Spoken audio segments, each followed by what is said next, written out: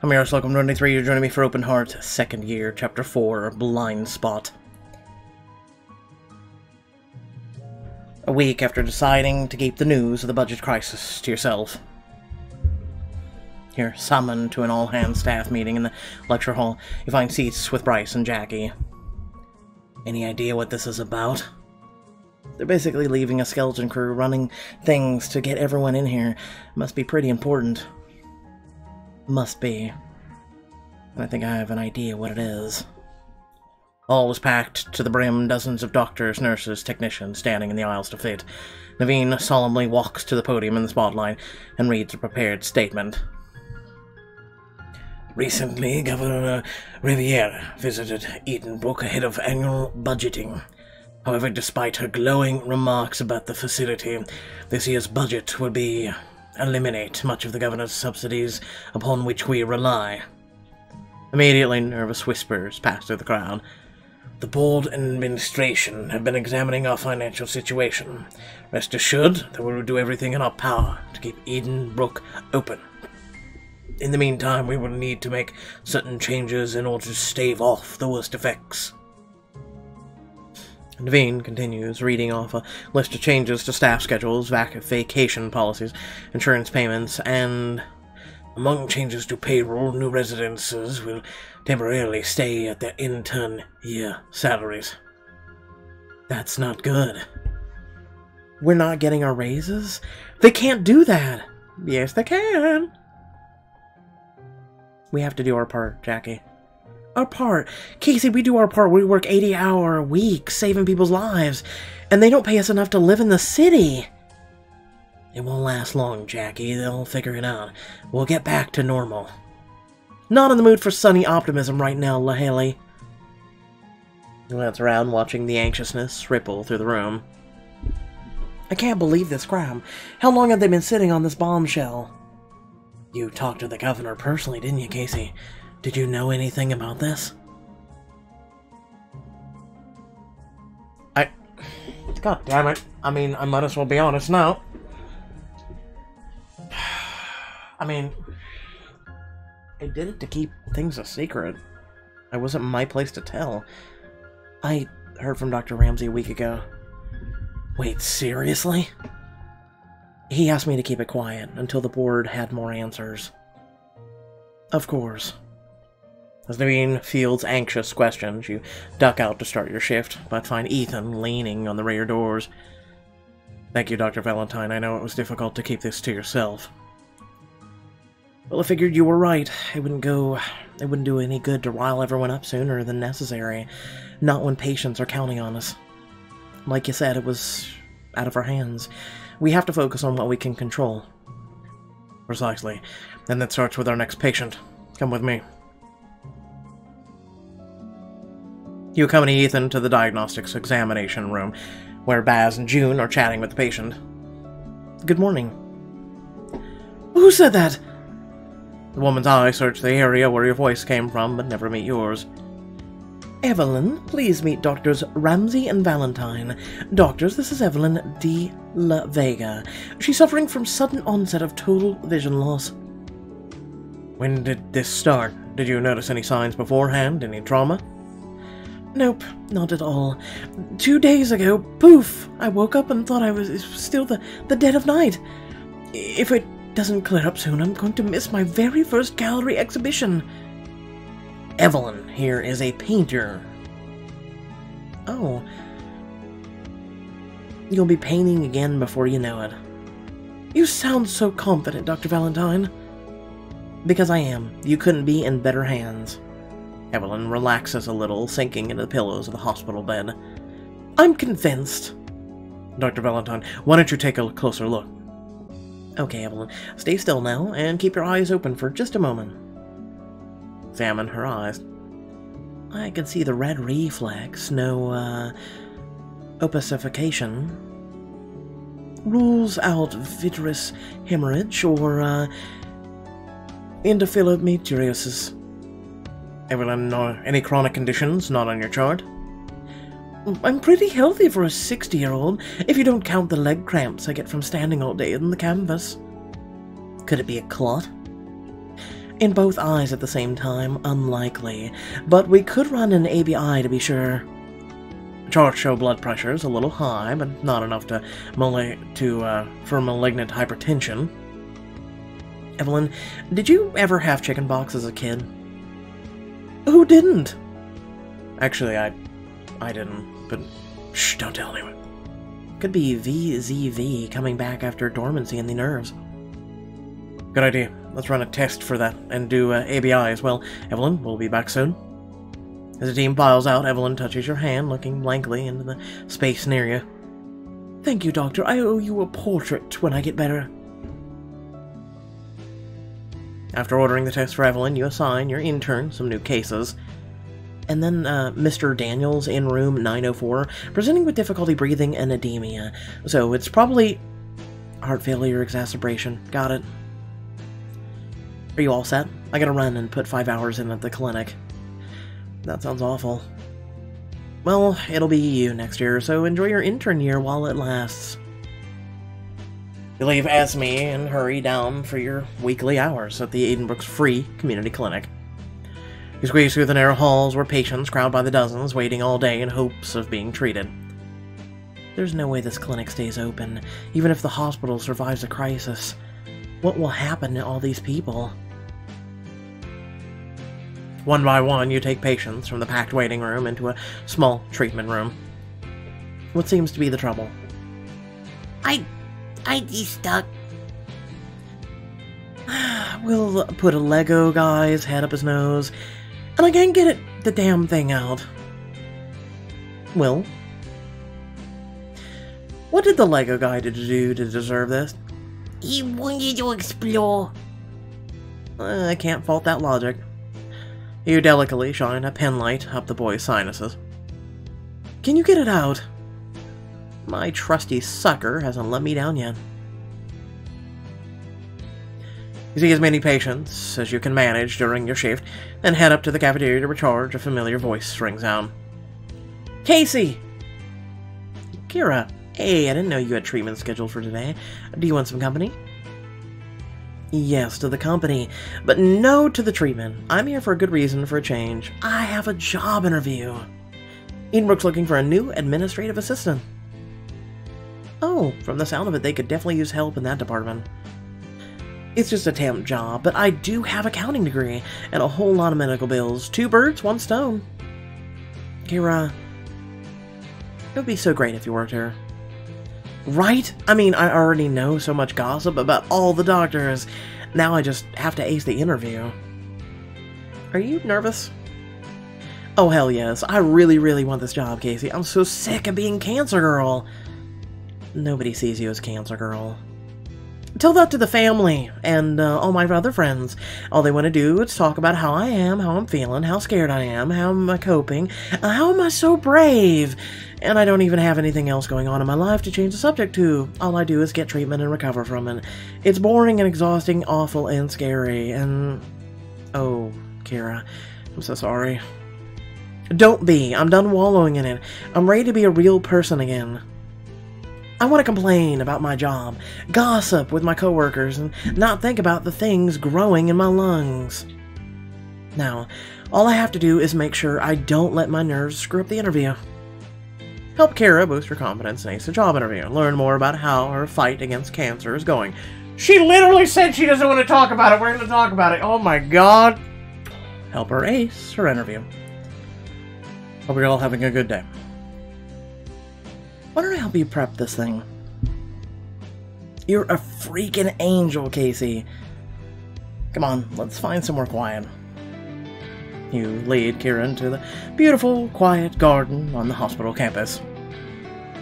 What is this place?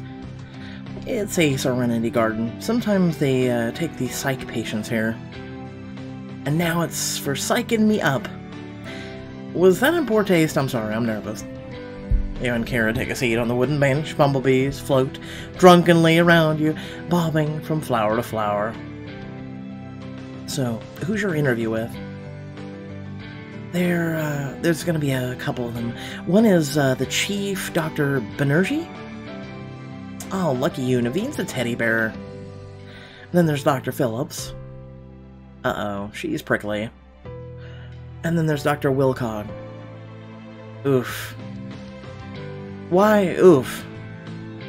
He likes to trip people on. He's an amazing physician, but he's the worst doctor to do rounds with. He's always giving everyone around him these tough pop quizzes. So, how do I prepare for it? Through time honored art of roleplay. Kinky. Rrr. Let's start with Dr. Banerjee. Just imagine that I'm a cuddly old man who genuinely cares about his patients and staff alike. Imagination engaged. Okay, Miss Santana? Why do you want to work at Edenbrook?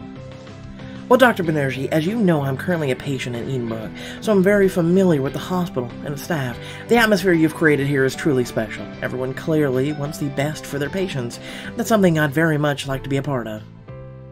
A fine answer, Miss Santana, but you are aware that administrative assistance doesn't have to uh, much to do with the patient care? I respectfully disagree, Dr. Banerjee. A patient care starts from the top down. The administration is responsible for the entire patient experience at Edenbrook. I think it's easy to get bogged down with the spreadsheets and start to see people as numbers. But that won't happen with me, because I am one of those numbers. Excellent point. Thanks, and since you're the chief, you get to tell the others to hire me, right? Not quite. Let's move on to Dr. Phillips. How prickly is this woman exactly? Try imagine Eeyore with a caffeine addiction. oh god. Oh no. Yeah, and don't try to make her laugh or cheer her up. It just annoys her. Just answer her questions. Noted. She's a pessimist who, uh, so she's gonna expect the worst. You can't tell her to take anything on faith. You have to be convincing. So basically, she's about numbers. Square your shoulders and put on your best frown. Miss Santana, it says you uh, have lung cancer? We're Looking for a candidate who can work a, long, a lot of hours. How can you expect to uh, concentrate on your work? Mmm, a lot of hours. How could you be able to fulfill the job's hours when you have frequent treatment sessions followed by debilitating side effects? I've always been a multitasker, Dr. Phillips. Just because I'm fighting cancer doesn't mean that that's all I'm doing. So far, I've put uh, three-hour sessions to using uh, my about freelancing accounting work, and references are glowing. And as for side effects, I organized my work schedule to accommodate my recovery time. This was not affect my productivity. I see. How was that?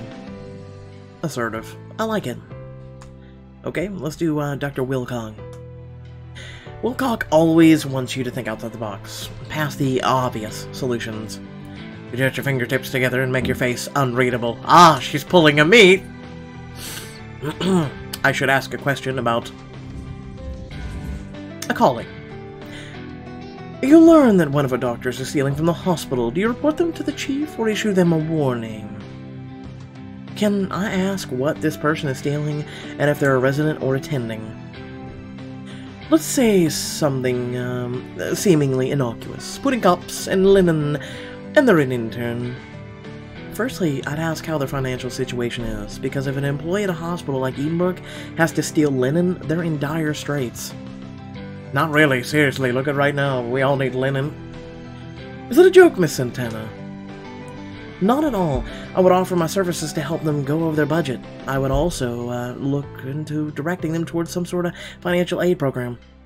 As to answer your question, I don't think it would be within my power to issue a warning, but this is, isn't something I'd go to the chief over either. I talked to uh, the resident about it. If the resident deemed it an issue, I'd expect it advance through the correct channels. Correct, and remind me to see about your finances. Anytime. I think you're gonna do great, Kira. You convinced me. That's a relief. Honestly, I wish you didn't have to do this at all, though. You mean hand my paychecks right back to the hospital to pay off fighting cancer in my 20s? Yeah, it's not great. But hey, if adversity builds character, I'm gonna have the most character you've ever seen in your life. okay, I like that. I like that. I like the cut of your jib how has your uh, chemo been going? Same old, same old. Nausea, puking all the time, mood swings, weight swings. I, I look good bald though. Agreed. My doctor says it's uh, going well though, and lately I'm beginning to be able to imagine a future. Whenever I imagined the future before, it was just darkness. But now it's like I might beat this. That's crazy. And that just means I'll have to do all the normal adult stuff pay bills, have a resume, maybe even go back to school. Stuff I never considered before. Kira. I know it's still good news. I should be happy. I am happy. But it's also weirdly scary. That time isn't gonna stop for me. It'll keep moving. I know, that's stupid. It's not stupid, Kara. Time is scary. The future is scary. But all you can do is. But all you can do is take one day at a time. If you think about the whole life in front of you, the future barreling down like a freight train, that's overwhelming. But if you think about the challenges just for today, then it doesn't seem that big. This interview feels pretty big to me. Yeah, but it's today, so. Gary, you know I think you're perfect for the job. But if you don't get it, so what? This won't define your life either way. There will be more interviews in more towns and more friends to help you find your path. You've just gotta live for today. Given how long I've wondered if I wouldn't wake up tomorrow, I think I can manage that. I know I complained that uh, everything has defined me as a cancer girl, but if I'm being honest, I've defined myself that way for a very long time. If I beat this, if I'm not Cancer Girl, then who am I? I have no idea. But this interview, I think, is my first baby steps towards whoever that person is. I can't wait to meet her. Me neither. Kira checks her watch. Oh, hell, the interview's in 10 minutes. Oh, good thing you're uh, beyond ready. Come on, I'll walk you over. You and Kira make your way back through the hospital and stop towards outside Naveen's office. Thanks for helping me out, Casey. I was so nervous on my way in here, but now I think I might actually have this in the bag. Let me know how it goes. Absolutely. She raises her chin and knocks on the door. Come in. Good luck. An hour later, you hear an excited shriek ring out across the atrium. Casey, I got it! I got the job! I knew you would. How were they? Pretty much exactly how you described, and they want to start onboarding me right away. It sounds like they're in some hurry. Is something going down? yeah, you could say that. I'm sure soon you'll know more than I do. Well, so long as they don't have me cooking the books, hell, even then, I'm just glad to have something to do. Welcome to the family, Kara. Later that night at Donahue's, you and your friends carry your drinks to the booth where Sienna has fallen asleep. She startles as you return. Huh? Oh, hermitasis. Bad dreams? Um, you seem so exhausted lately, Sienna. I'm fine. Interns are just a lot of work. Kara enters the bar and comes over. Kira, Casey was telling us earlier about how you crushed your interview. Welcome to the team. I heard you got grilled by Phillips and Wilcock. They were very impressed, mainly due to Casey's awesome prep work. I was even ready for the trick questions and everything. Happy to help. So, when do you start? Technically, it was supposed to be tomorrow, but they were kind of in a big rush. They threw me right into the books to try and start shuffling money around. It's that bad, huh?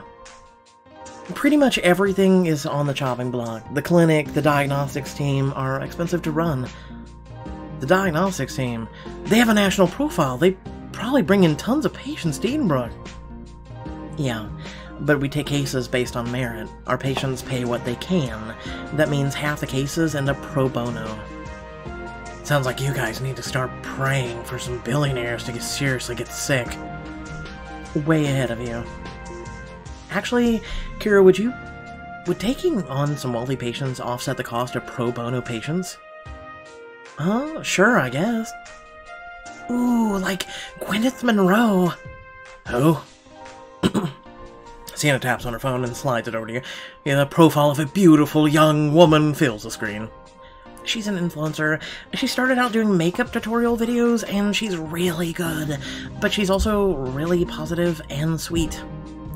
Now, she has uh, two self help books, a reality show, 15 million followers, and a mystery illness. Sienna reaches over to hit play on Gwyneth's most recent post. Gwyneth's lovely face fills the screen, tears streaming artfully down her cheeks. I'm so scared, guys. No matter what I do, no matter how much I eat, I keep losing weight. The doctors won't take me seriously. They send me to psychiatrists, give me pamphlets for eating disorders.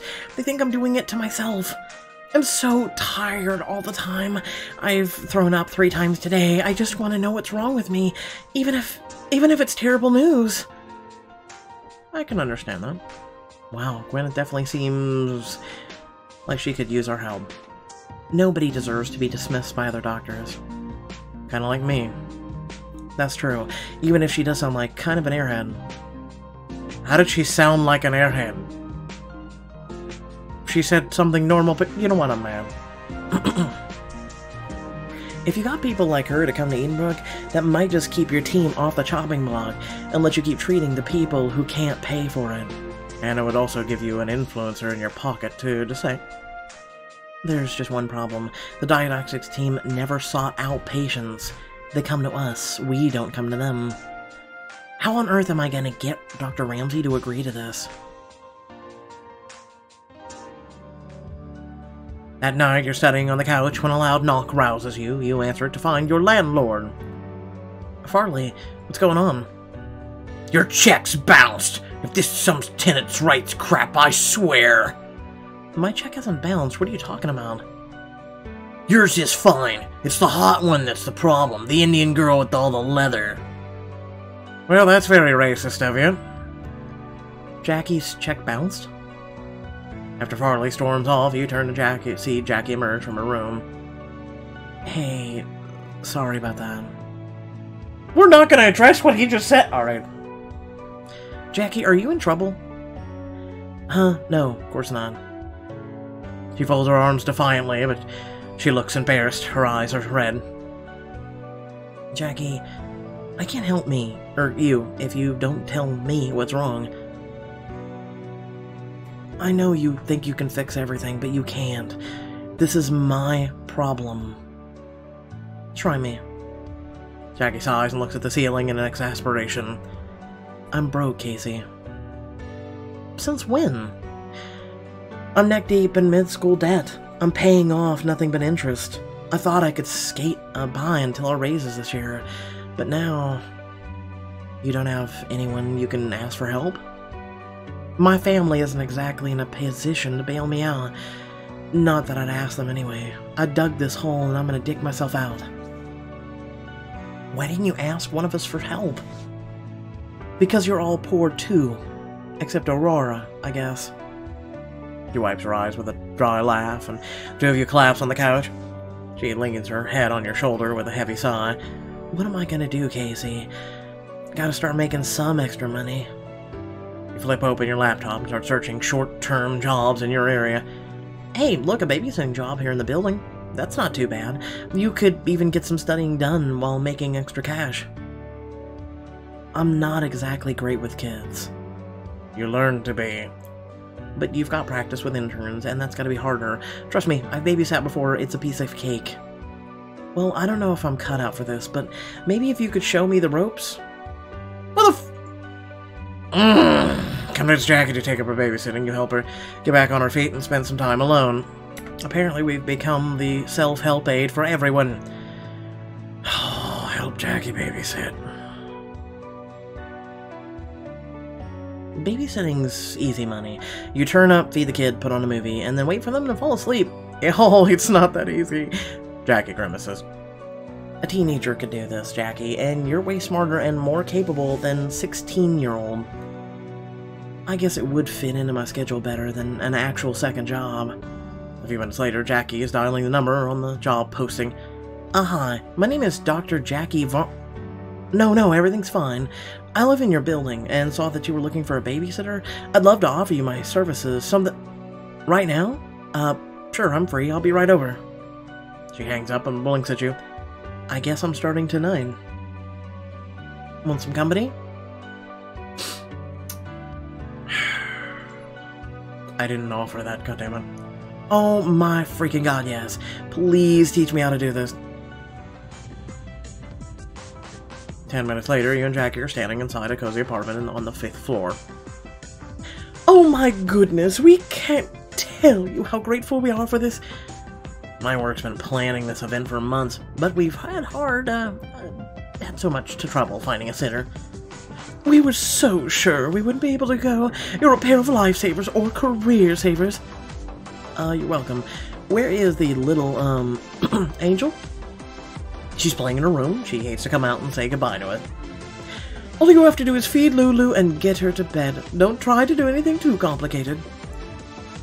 Complicated? What exactly do you mean by that? Oh, nothing. Just don't try too hard to entertain her. She'll entertain herself. You just have to get through it. Huh? Our numbers are on the fridge. If there's an emergency, well, you're both doctors, right? Right, we'll handle it. Good luck! Remember, you're the grown-ups here. She has no power over you. The door closes behind them. Did that sound ominous to you, or do all parents talk like their kids like that? No, that was definitely weird. Well, I guess we'd better go and meet her. Jackie lightly taps on the bedroom door and then opens it. A sweet-faced girl sits on the floor coloring a picture. Yep, this is how every horror movie starts. Hi, Lulu. I'm Jackie, and this is... Why does your face look like that? Like, what? You look sad. Old. Are you sad and old? No, I'm annoyed and young. Got a problem with that? The kid turns her attention to you. What's your excuse? For what? Your eyes. You've got bags bigger than my backpack underneath them, and darker. You look like you've been punched in the face, like a lot. Um, let's get you something to eat. I don't want to eat, I want to color. Well, you need to eat. Kids who don't uh, get nasty stomach cramps. I want to color. Uh, Casey, this sucks. Let's go. What? We can't go. Uh, yeah, you can't leave me. That's child abandonment. You'll go to jail. It's abandonment if your parents leave. We're just two random, two randoms your parents let ins inside because they couldn't find anyone else to put up with your with you. The only consequence is us leaving you alone is your parents throwing a fit. And uh, I have noise canceling headphones, so they can scream outside my apartment door all they like. Lulu blinks at Jackie, awed. What's for dinner? Let's see what your parents have. I mean, they did say you have no power, or they have no power over you. You make up three bowls of macaroni and cheese as Jackie sits at the kitchen table with Lulu. So you've seen a dead person? I've seen a hundred dead people. We used to cut them open for surgical rotation in med school. Seriously? Did you see their organs? Yeah, that's what surgery is. What's the grossest thing you've ever seen? I saw a liver that was uh, fully rotted inside a guy once. It was super slimy and disgusting. Cool. You must be like a thousand times smarter than you look. You look from Lulu's delighted face to the macaroni and cheese. A brilliant idea comes to you. I should make it look like guts, brains. Find Lulu's mom's stash of baking supplies and shake a few drops of pink food coloring into the cheese sauce. Come and get your hot brains. Did you say brains? Yep. She races over to stare at the bowl of goopy pink mash. I hope you picked a smart cadaver. We don't want to eat any moron brains. Luckily, the cadaver was sent to the morgue with all of his SAT records. He was a bona fide genius. Cool! He snatches up the bowl and grabs Jackie's hand, dragging her back to the table. Tell me more about med school. Okay, on one condition. What? You eat, shower, and then get into bed. And then I'll tell you all about the lady who died from a flesh-eating bacteria. Deal! She starts wolfing down her macaroni, barely stopping to breathe. And Jackie grin at each other. A few hours later, her parents return to a silent, clean house. Where's Lulu? She's in bed. She fell asleep about an hour ago. You got her to get to sleep. You you don't look upset. How do you not look upset? What was she nice to you? We've got thick skins. Can we call you again, please? Say we can call you again. My schedule can be tight with work, but as long as I'm free, I'm all yours. And Lulu's. She's a pretty cool kid. Lulu's mom squawks and wraps Jackie in a tight hug. We can never find anyone willing to come back. Thank you. Just because you have to amuse the child. She pulls 500 bucks out of her purse and presents it to Jackie's hands. This is way too much. Consider it a down payment. Been so long since we were able to go out together. We'll call you in a few days to talk schedules. Yep, there you go. You and Jackie flop heavily onto the couch. He hands you some of the bills. Here, your cut. No way. You charmed that scary little kid all by yourself. You earned them. But that's not fair. Life isn't fair. You can pay me back with a beer. She goes to the fridge and retrieves a pair of cans. I wanted mine in glass! How dare you! She passes you one, then holds up hers. To taming demons. Ah, to lucrative side hustles. Tap your cans together and drink. Seriously though, Casey, thanks for helping me out tonight. Is that money enough to cover your overdraft fees? Yeah, and if I can score a few more of these jobs, it should just make up a lost pay at work. It's not exactly a long-term solution, but at least it gives me room to breathe. Just promise me one thing. What? If you ever get that stuck again for money, you'll let me know. I promise. Next morning, you find Ethan alone in his office, reviewing Evelyn's reports. Okay, time to make a big pitch.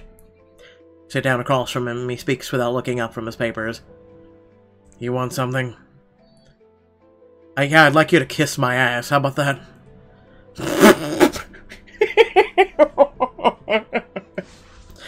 I like to think of it more of as a proposition. I know how we can save Edenbrook. Okay, you have my attention. We solicit for high-profile wealthy patients who can offset our costs. He holds her gaze for a long moment. No. Hear me out. If we... Casey, Naveen founded this team with the express mission of helping those with nowhere left to go. I can't abandon that mission. I won't neglect the people who need us, especially not in order to chase people who already have a vast array of healthcare options available to them. Ethan, we can do both. We don't have to neglect anyone. This is what we will uh, this is what will allow us to keep treating the people you're talking about. I understand where you're coming from. You're thinking outside the box. But you're talking about changing what this team is. Temporarily, yes. We'll find another way. What if we don't? What if the time runs out? Are we supposed to just keep doing our work under until it's all over? Yes. I can live with that. Well, I can't. June knocks and pokes her head in. Ramsey Valentine, got some more results. Let's go share the update with Evelyn. Morning, doctors. Or evening. Doctor, singular? I can't even really tell. We got it. It's all of us, Evelyn. We have some updates. The chickenpox tests came back negative, which is good news. And the test for ABI detected some peripheral artery disease.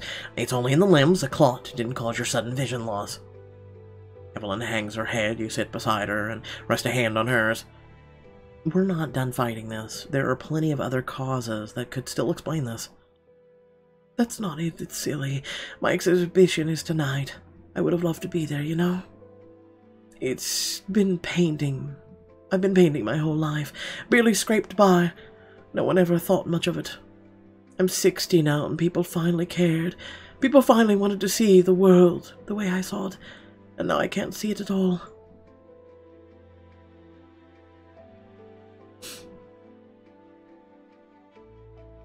Why are you delivering me to these fields, Pixelberry? Why? Evelyn, you still have plenty more, I know it, and I look forward to attending.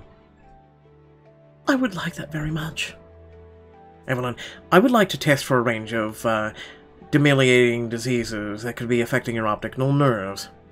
And the high blood pressure could also be a sign of ACTH, a secreting tumor in the pituitary gland. Even a small one might be compressing the optic nerve. See, Evelyn, we're not done yet.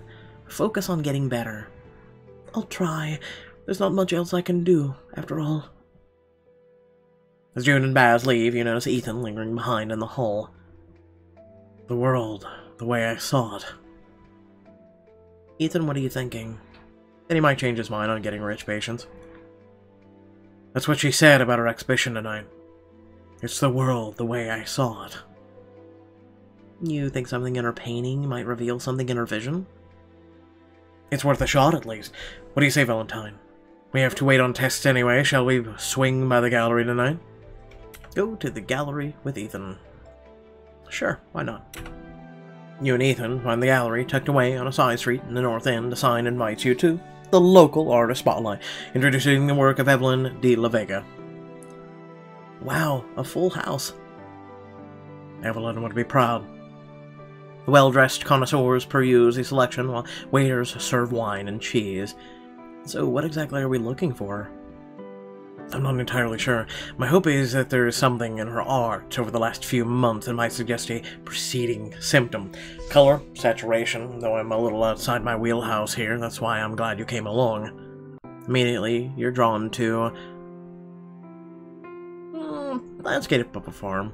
Ethan follows you, standing by your side as you examine the work, a rolling hill teeming with crops that glimmer in the sunrise, the scene surveyed by a towering barn.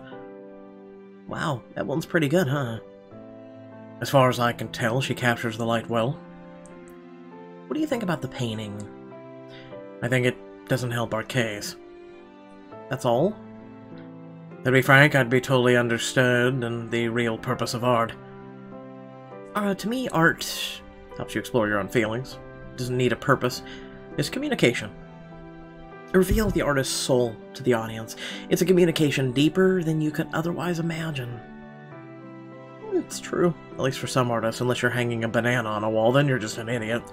I understand that personally, I've never needed metaphors to communicate myself fully. Waiters bring my tree trays of cheese and wine glasses, and you help yourselves while exploring the other pieces. I understand, of course, that art aims to be the search for truth, but it's not. Truth is objective. There are facts, the cause, effect, art is subjective. It's in the eye of the beholder. But you love opera? Of course, I'm a human after all.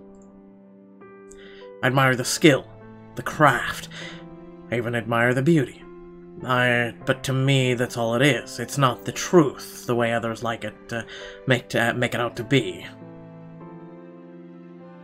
I don't begrudge anyone their search, but I think I'll stick to my history books. Ethan, everything is subjective when it comes down to it. If you intend to attack the foundation of my worldview, I hope you have some strong ammunition. I'm serious. Think about it. For example, what do you do? Okay, I'll play along. I'm a doctor. I diagnose illnesses and treat them.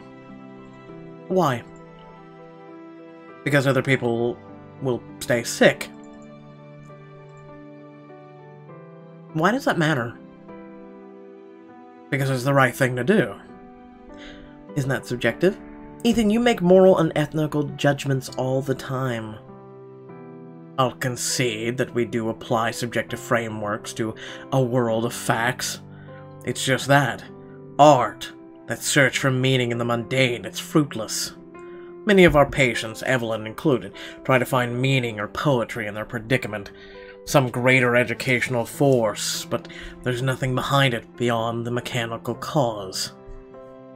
Sometimes, Ethan, no matter what you solve, you can't have all the answers someone needs. I don't entirely blame them. When something is so coincidental like Evelyn's condition, it seems personal. It's so punishing. You think there has to be some message to it. Punishing? To want to do something more than anything. You know, it's the one thing you can never do again. Your eyes meet for a long moment. Ethan, I... You trail off, distracted suddenly by a painting behind Ethan. He turns to follow your gaze to a landscape of a lighthouse on a rocky shore. What is it? I've seen this before somewhere, and something's missing. That's it. There were pieces of an old shipwreck on the rocks over in this corner. I saw it on our drive up to the country club last year. I remember thinking either that the lighthouse is bad at its job or it's why they built the thing. Hmm. A missing detail. Is it a stylistic choice? You get your phone and pull up the photos of the other landscapes mentioned in the painting's names. And here, the farm one. Shouldn't there be a small stable here? Hmm. Interesting. In the same corner as the missing wreck.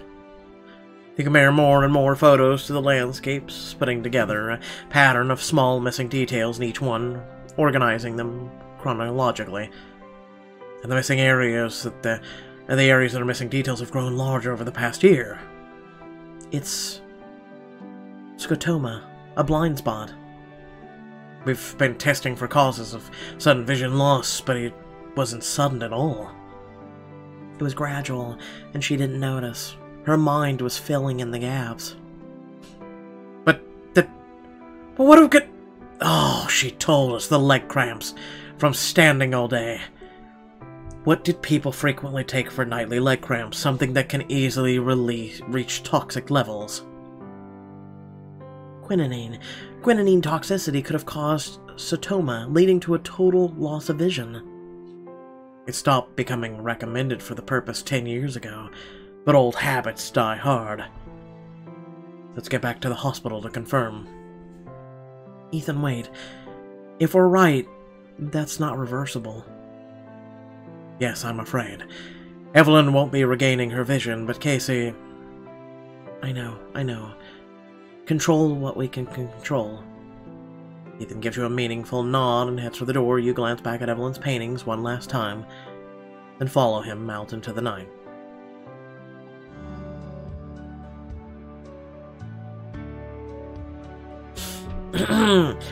I will not get emotional. the next day, at the end of your shift, you pause by Evelyn's room where she's hooked up to a hemoperfusion machine for her treatment. She's staring out at the sunset, though the window, as, as if she could say it. You enter. Hi, Evelyn. It's Dr. Valentine. I'm getting better at hearing. I was hoping to see you again. A poor choice of words, perhaps. You sit at her bedside. How are you feeling? This whole time, I thought if I regained my sight, I would be blessed with a whole new perspective. It seems I got that anyway. My daughter will be taking me home after my treatment. She's staying for a few weeks until we figure it out. Everything, I guess.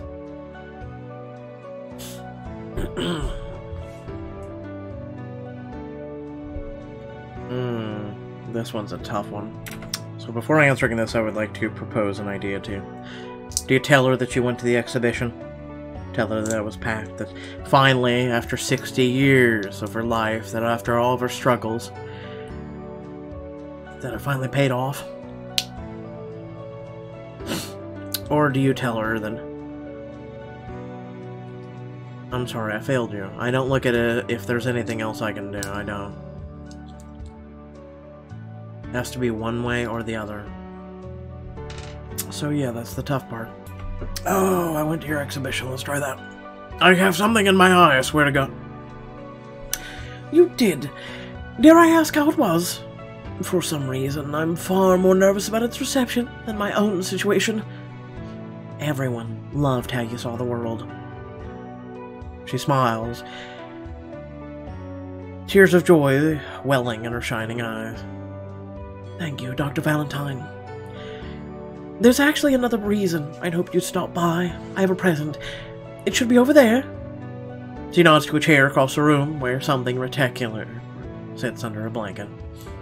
I told you I owed you a portrait when I got better, and this machine takes forever, so I had my daughter bring my supplies. You painted me a portrait? But my daughter's very patient. She pointed out the colors on my palette. I know I've never seen you, but it's how you appear to me how your spirit looks to me. You move the blanket and see a small canvas blossoming with radiant colors.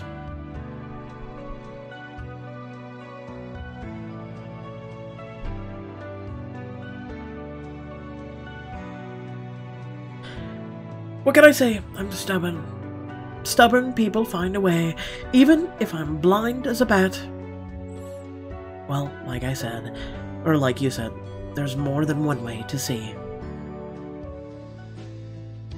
Damn it, Pixelberry, for getting something in my eye. And my nose. You're carrying your portrait home on the subway when you get a text from Aurora requesting a roommate meeting. By the time you're back, everyone's already gathered, sitting in a circle. Is everything okay? Look, if this is about the balance check, it's just because my paycheck was late. I'm good on rent now. That's not it. It's gonna be a chore chart, isn't it? I'm dreading this day. It's not that either, Elijah. Though it is a good reminder, we should do that. Rora tries to play it cool, but can hardly contain her smile. I've been offered a chance to transfer my residency to Mass Kenmore, and I've accepted. Oh my god! Is that a prank?